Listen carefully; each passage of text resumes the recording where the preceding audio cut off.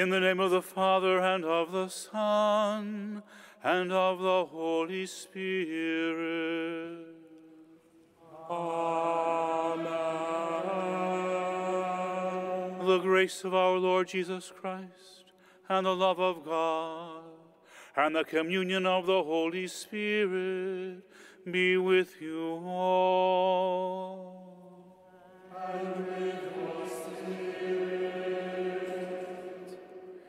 Brothers and sisters, we have come together at the name of Jesus. As we do so, we welcome each and every one of you to this Basilica of the National Shrine of the Immaculate Conception. In a special way, we welcome our friends who join us from the Classical Schools Group in Atlanta, Georgia, as well as those who join us at home through our live stream broadcast. Now, let us acknowledge our sins and so prepare ourselves to celebrate the sacred mysteries.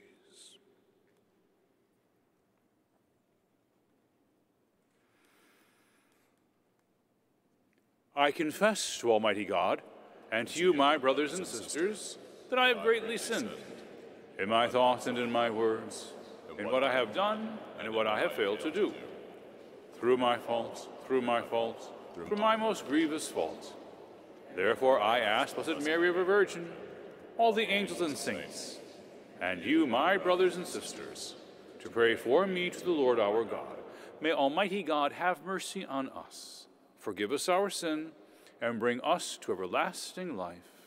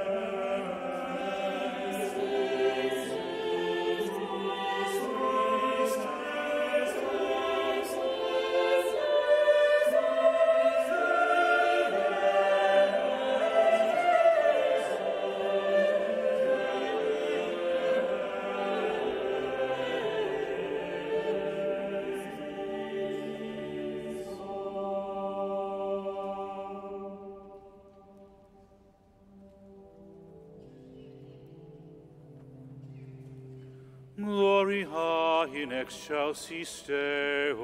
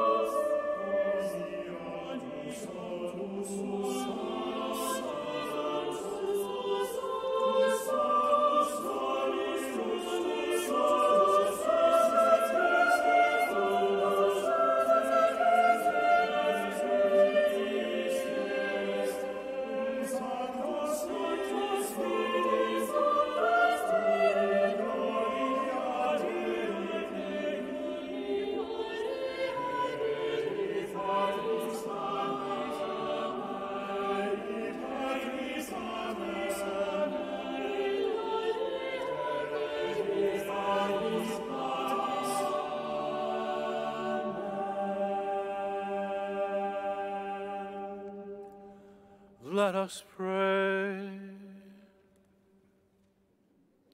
O God, who manifest your almighty power, above all, by pardoning and showing mercy, bestow, we pray, your grace abundantly upon us, and make those hastening to attain your promises heirs to the treasures of heaven. Through our Lord Jesus Christ, your Son, who lives and reigns with you in the unity of the Holy Spirit, God, forever and ever.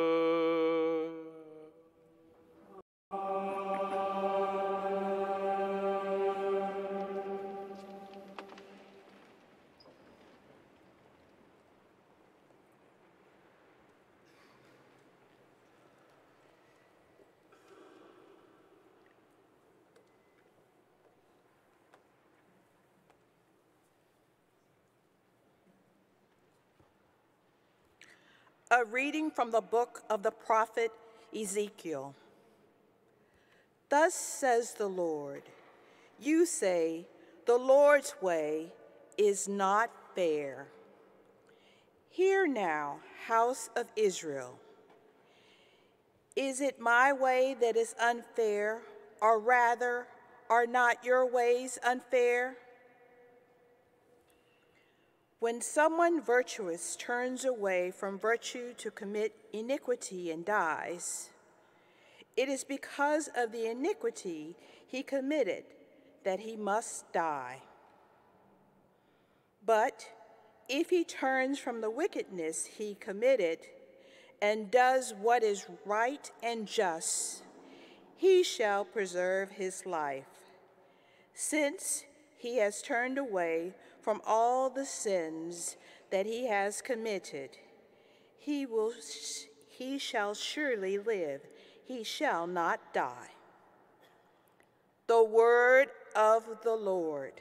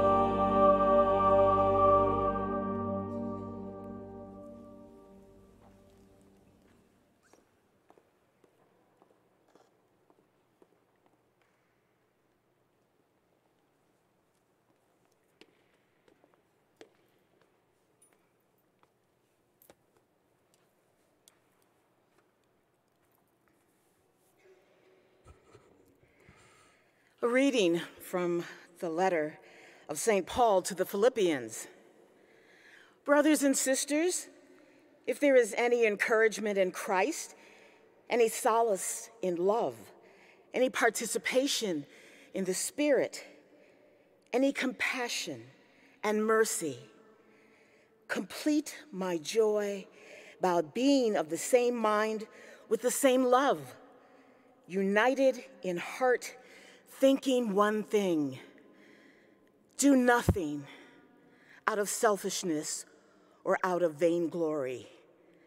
Rather, humbly regard others as more important than yourselves. Each looking out not for his own interests, but also for those of others.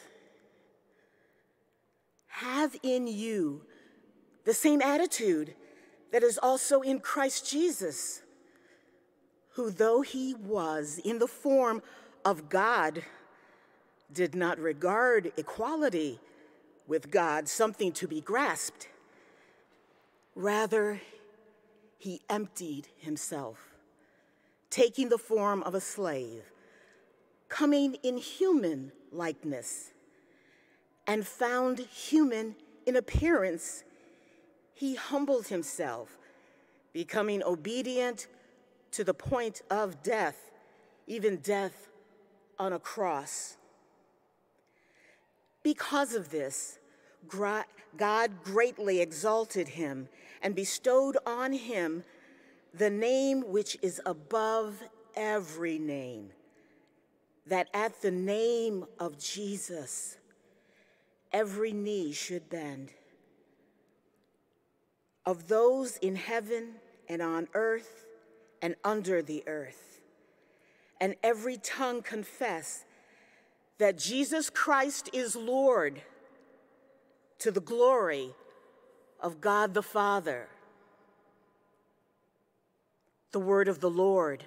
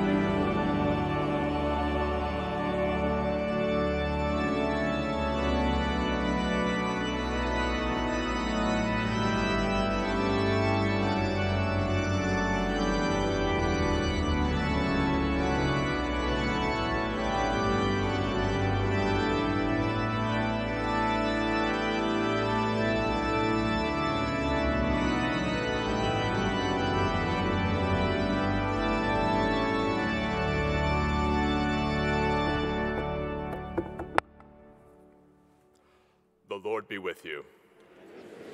A reading from the Holy Gospel according to Matthew.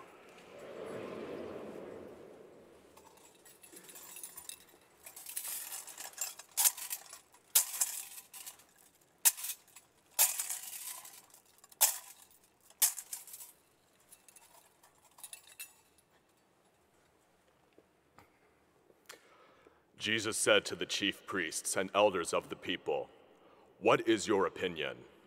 A man had two sons. He came to the first and said, Son, Go out and work in the vineyard today. He said in reply, I will not. But afterwards changed his mind and went. The man came to the other son and gave the same order. He said in reply, Yes, sir, but did not go. Which of the two did his father's will? They answered, The first. Jesus said to them, Amen, I say to you, tax collectors and prostitutes are entering the kingdom of God before you. When John came to you in the way of righteousness, you did not believe him, but tax collectors and prostitutes did. Yet even when you saw that, you did not later change your minds and believe him. The Gospel of the Lord.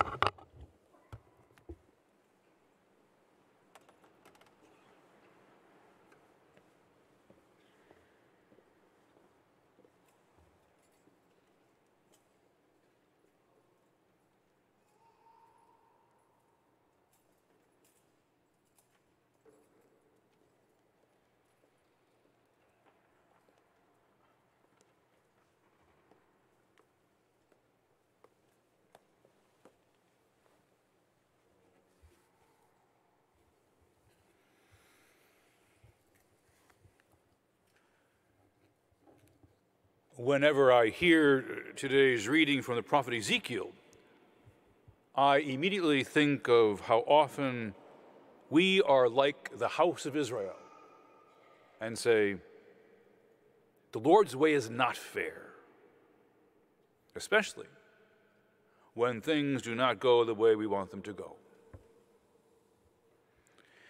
These might also be words that we cry out when our prayers are not answered not answer the way we think that they should be answered. Or when we perceive that someone is getting more than us or doing better than we are. And for whatever reason, we do not think that they are as deserving as we are. In any of these situations, I imagine that you might have asked the question, What about me? If you think back to last Sunday's gospel of the vineyard owner and those who worked in the vineyard, this was also the case of those workers who worked all day and same payment as those who worked for only one hour. Those who put in a full day's work basically felt shortchanged. And they were not only angry with the owner, but also not pleased that the latecomers received the same pay as them. They were envious of the good fortune of those hired last. And they asked the question what about us? God responds to the house of Israel in today's reading from Ezekiel and to us. That it is we who are unfair, especially when we hold on to resentments, refuse to forgive, and judge by worldly standards and not by God's. Ezekiel also announces that those who turn from virtue to sin will die, and those who turn from evil will preserve their life and live. Which fits right into today's gospel, which addresses the difference between saying one thing and doing another. The gospel presents Jesus in a situation of conflict with the religious leaders. In the face of their own challenge to the authority of Jesus, Jesus turns the tables on them and he confronts their own positions in the parable. Basically asking, who are the truly good? Those who say that they intend to do good but do not? Or those who say that they will not do what is right, but in fact do the right thing? With the parable, Jesus is basically holding up a mirror for the leaders of the people to look into and to see themselves, to measure themselves. Because while the sinners, or those who are called sinners, prostitutes and tax collectors, heard the word of God, changed their life, and were welcomed into the kingdom of God. Those people who were considered to be the good people, like the Pharisees, like the scribes, like the elders of the people, when they heard the word of God, especially the preaching of John the Baptist, they turned a deaf ear because the words were not the words they wanted to hear. And so God's way was not fair to them. It wasn't what they wanted.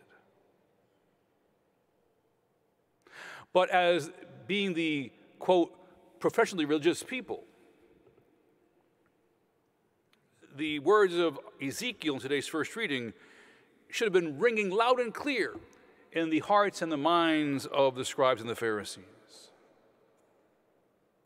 They were supposed to know the Word of God, know what it meant. They were the teachers, instructing the people how to apply that Word. but they only did so to their favor. They were blind. Blind to their own faults, blind to their own deafness, blind to their own need for change. And so today's parable, Jesus is calling them to turn away from their current course and to follow the path that will lead to the kingdom of heaven.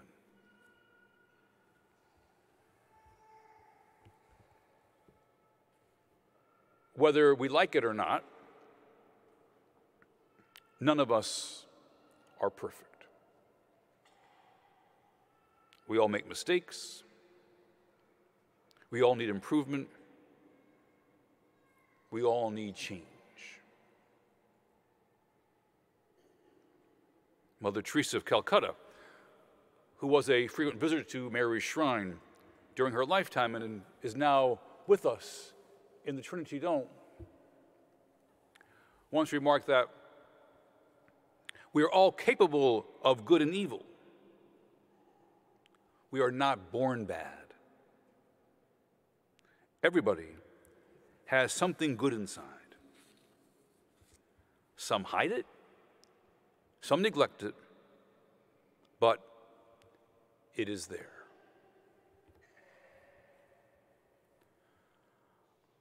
God's grace and our cooperation with God's grace helps us to find and develop the good that is within us. And God's grace gives us the ability to say yes, to say yes what God asks to say yes to what God wants, to say yes to God's ways, and when necessary, to say no to what is wrong, what is sinful, and say yes to what is right and what is just. God wants us to avoid sin. Not because He wants to make life difficult for us, but because God knows that sin hurts us. And sin can, in fact, destroy our life. By overcoming our sins, by overcoming our weaknesses. As the Lord promised to the prophet Ezekiel, we will preserve our life and we will live. However, we have to also remember that becoming holy, becoming perfect, doing what is right and not sinning is a lifelong process. And that because we are human, and because of original sin, we have a fallen nature. And so sometimes we might fail. But that should not be used an excuse to justify our failures, but is a reminder that we are work to work toward perfection, to correct ourselves, and not allow our sins and our weaknesses to conquer us, but with God's grace for us to conquer them. As Pope Francis has said, God asks us to renew every day the choice of good over evil, the choice of truth rather than lies, the choice of love for our neighbor over selfishness, so that we may obtain the life and salvation promised by Jesus. If today were not Sunday, today, October 1st, would be, still is, the feast of St. Teresa of the Child Jesus, or you might know her better as being the Little Flower, but the Sunday celebration takes precedence over the celebration of the saint today. But it's still her feast day. And if you have time after Mass, you might want to stop at her oratory, which is at the narthex on the west side. That's your left. As a Carmelite nun living in the 1800s, Therese coined the phrase, the little way, referring to her belief that every act, no matter how small, is an opportunity to meet and praise God. Because of her struggle with tuberculosis, Therese was often confined to her bed and therefore was unable to perform many duties as the other sisters. And so, with her little way, as she would express, she would do little things with great love. While struggling with tuberculosis, St. Therese wrote her spiritual autobiography, which many of you may have read or be familiar with, called The Story of a Soul. And there you will find one of the conversations that she had with a novice, in which St. Therese counsels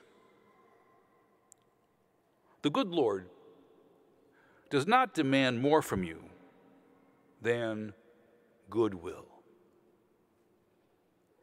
He looks at you with love. The best rule is that we should follow what love inspires.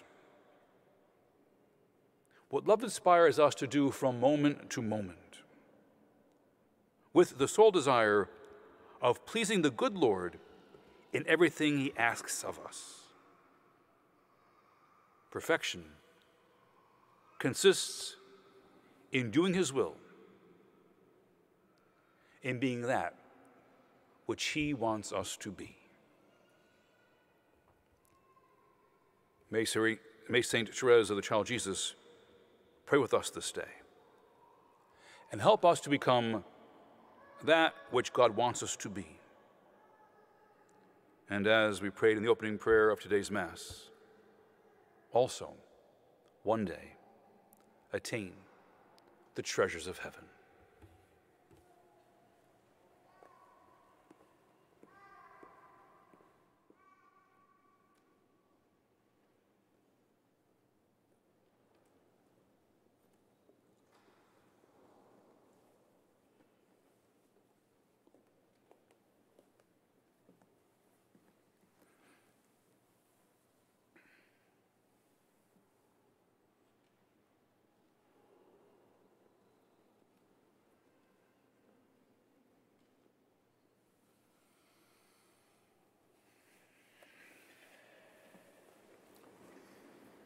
I believe in one God, the Father Almighty, maker of heaven and earth, of all things visible and invisible.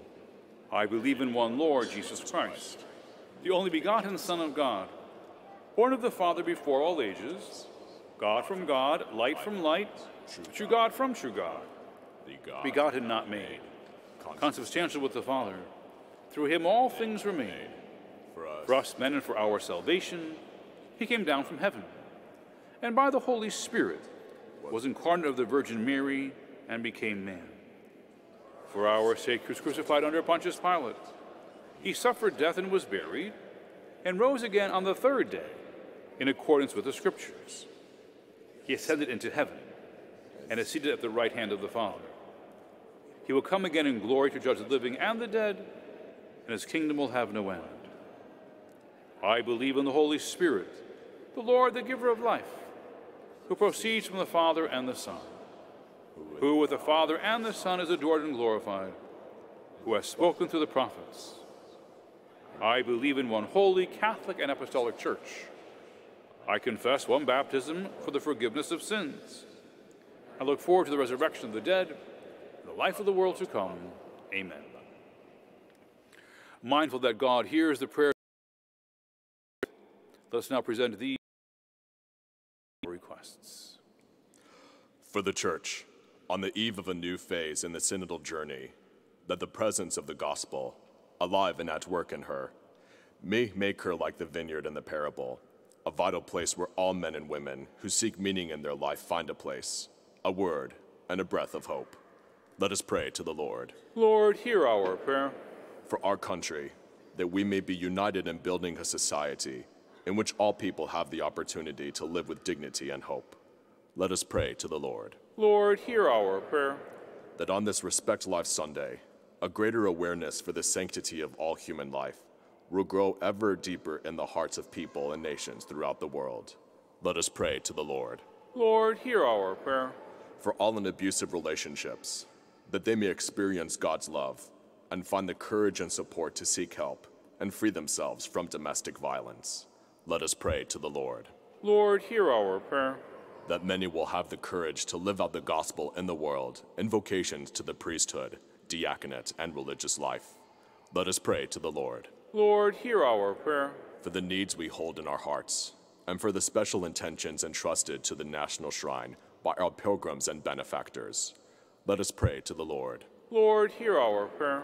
That God will grant eternal life to all those who have died and gone before us in faith. Let us pray to the Lord. Lord, hear our prayer. Heavenly Father, hear the prayers of your people and give us what you have inspired us to ask for in faith through Christ our Lord. Amen.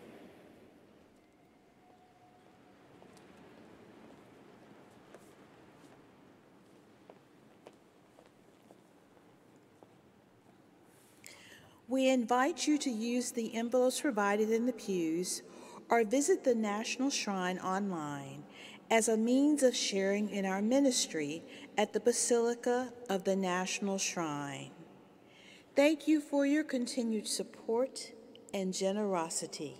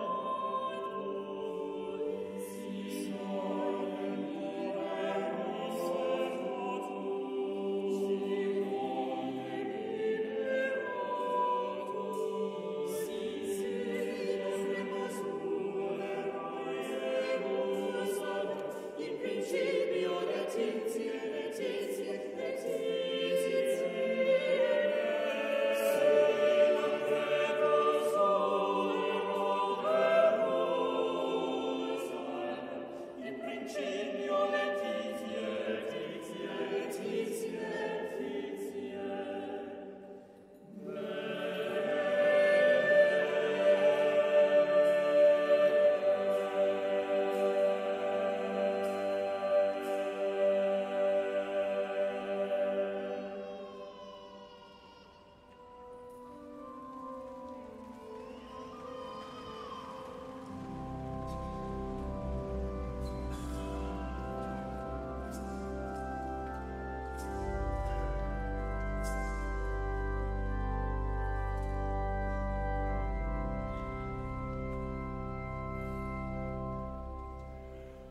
Pray, brothers and sisters, that my sacrifice and yours may be acceptable to God, the Almighty Father. May the Lord accept the sacrifice at your hands for the praise and glory of his name, for our good and the good of all his holy church. Grant us, O merciful God, that this our offering may find acceptance with you, and that through it the wellspring of all blessing may be laid open before us through Christ our Lord. The Lord be with you. Lift up your heart.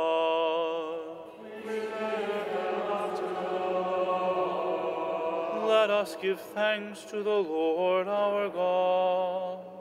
It is right. It is truly right and just, our duty and our salvation, always and everywhere to give you thanks. Lord, Holy Father, Almighty and eternal God, for in you we live and move and have our being. And while in this body, we not only experience the daily effects of your care, but even now possess the pledge of life eternal. For having received the first fruits of the Spirit, through whom you raised up Jesus from the dead, we hope for an everlasting share in the paschal mystery.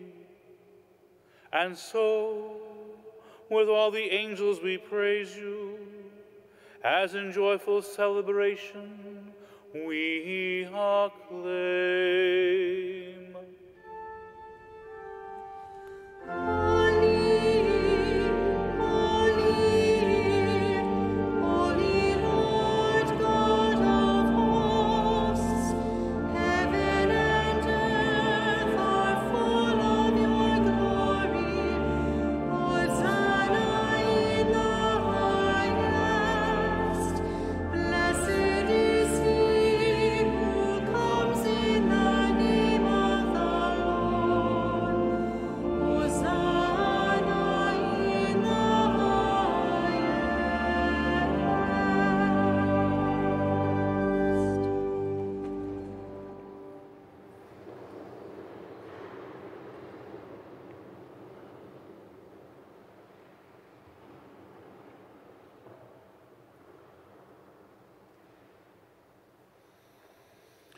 Are indeed holy, O Lord, and all you have created rightly gives you praise. For through your Son, our Lord Jesus Christ, by the power and working of the Holy Spirit, you give life to all things and make them holy. And you never cease to gather a people to yourself, so that from the rising of the sun to its setting, a pure sacrifice may be offered to your name. Therefore, O Lord, we humbly implore you, by the same Spirit, graciously make holy these gifts we have brought to you for consecration, that they may become the body and blood of your Son, our Lord Jesus Christ, at whose command we celebrate these mysteries. For on the night he was betrayed, he himself took bread, and giving you thanks, he said the blessing, broke the bread, and gave it to his disciples, saying, Take this, all of you, and eat of it. For this is my body, which will be given up for you.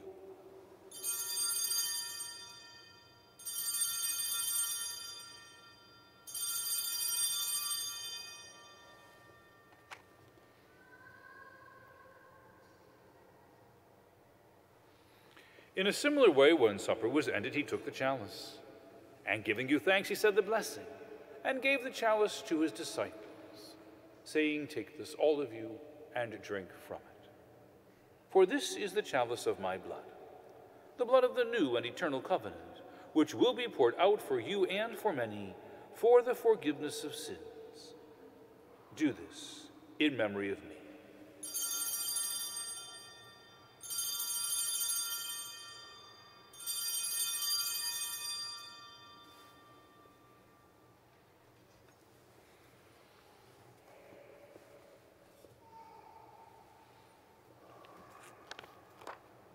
The mystery of faith.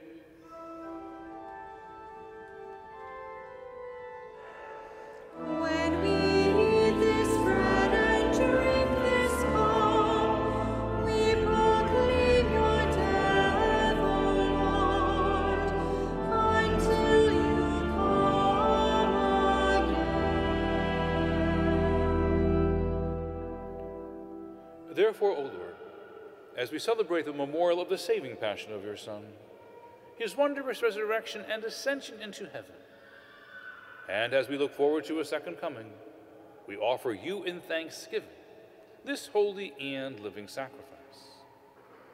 Look, we pray, upon the oblation of your church, and recognizing the sacrificial victim, by whose death you will to reconcile us to yourself, grant that we, who are nourished by the body and blood of your Son, and filled with his Holy Spirit, may become one body, one spirit in Christ. May make of us an eternal offering to you, so that we may obtain an inheritance with your elect, especially with the most blessed Virgin Mary, Mother of God, with blessed Joseph, her spouse, with your blessed apostles and glorious martyrs, with Saint Therese of the Child Jesus, and with all the saints, on whose constant intercession in your presence we rely for unfailing help. May this sacrifice of our reconciliation, we pray, O Lord, advance the peace and salvation of all the world. Be pleased to confirm in faith and charity your pilgrim church on earth, with your servant Francis, our Pope, and Wilton, our Bishop, the order of bishops, all the clergy, and the entire people you have gained for your own. Listen graciously to the prayers of this family, whom you have summoned before you. In your compassion, O merciful Father, gather to yourself all your children scattered throughout the world.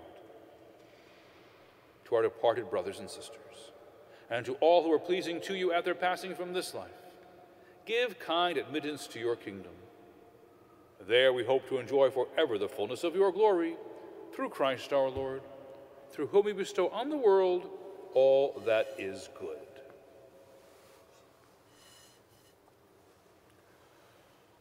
Through him and with him and in him, O God, Almighty Father, in the unity of the Holy Spirit, all glory and honor is yours forever and ever.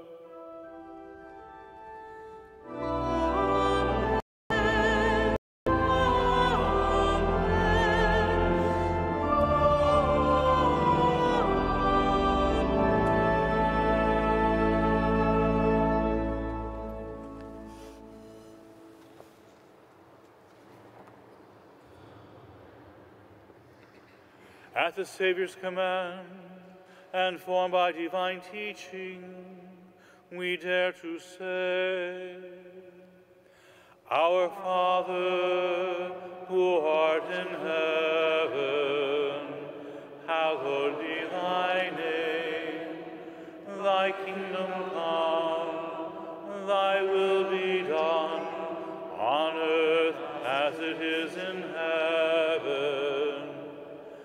Give us this day our daily bread, and forgive us our trespasses, as we forgive those who trespass against us. And lead us not into temptation, but deliver us from evil. Deliver us, Lord, we pray, from every evil. Graciously grant peace in our days, that by the help of your mercy we may be always free from sin and safe from all distress, as we await the blessed hope and the coming of our Savior, Jesus Christ. For the kingdom, the power, and the glory are yours, now and Lord Jesus Christ, who said to your apostles, Peace I leave you, my peace I give you. Look not on our sins, but on the faith of your church, and graciously grant her peace and unity in accordance with your will, who live and reign forever and ever. Amen. The peace of the Lord be with you always. And with your spirit. Let us offer each other the sign of peace.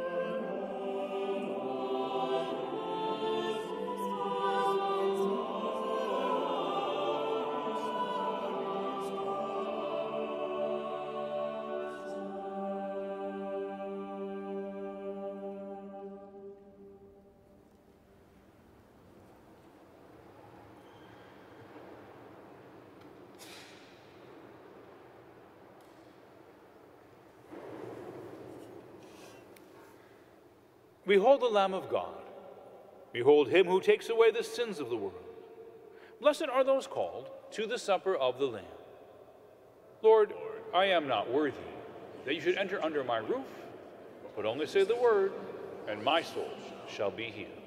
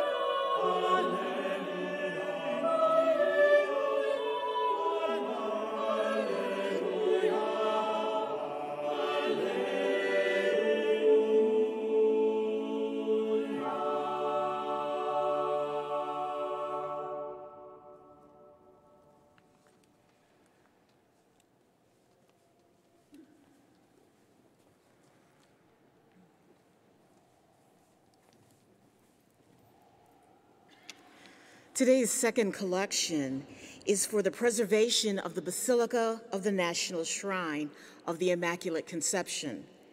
Your generosity to this collection will be greatly appreciated to keep the Basilica a beautiful, sacred place for prayer and pilgrimage. Thank you for your kind generosity.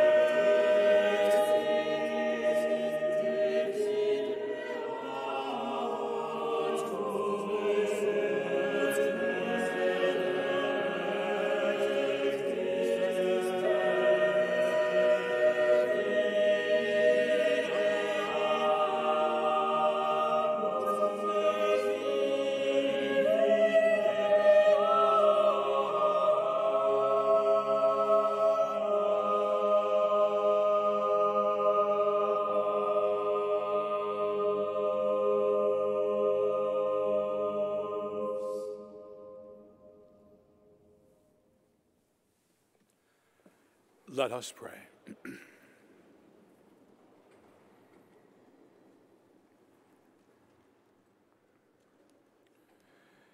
May this heavenly mystery, O Lord, restore us in mind and body, that we may be co heirs in glory with Christ. To suffering we are united whenever we proclaim his death, for he lives and reigns forever and ever. Amen. Dear brothers and sisters, Jesus promised to be present in the midst of his disciples gathered in his name.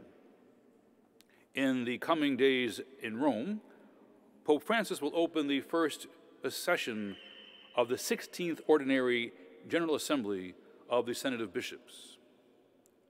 Invoking the blessings of the Lord, we lift our minds to God, that by the stirring of the Holy Spirit, he may strengthen our communion, lead us to all truth, and enlighten the participants of the Synod without ceasing. The Lord be with you. And with your spirit, bow down for the blessing. May our God and Father, who in many and various ways spoke to our fathers through the prophets, direct you and the whole church in fidelity to his word and in discernment of his will. Amen. May the only begotten Son, sent in the fullness of time, to manifest to all the riches of the Father's mercy, keep you in communion with himself and your brothers and sisters. Amen. May the Holy Spirit lead you all, and especially the Synodal Assembly, to perceive the signs of the times, so that, adhering to the will of God in all things, you may bear the abundant fruit of unity by promoting the life of the church and witnessing to the gospel. Amen. And may the blessing of Almighty God, the Father, the Son, and the Holy Spirit come down on you and remain with you forever. Amen. Go forth, the Mass is ended. Thanks be to God.